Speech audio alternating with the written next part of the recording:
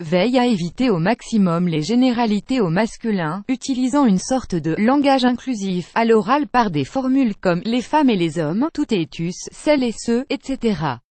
Une tournure qui imite désormais largement ses ministres et les députés de la République en marche. Lui qui a fait de l'égalité homme-femme une grande cause nationale a anticipé la polémique en cours sur l'écriture inclusive.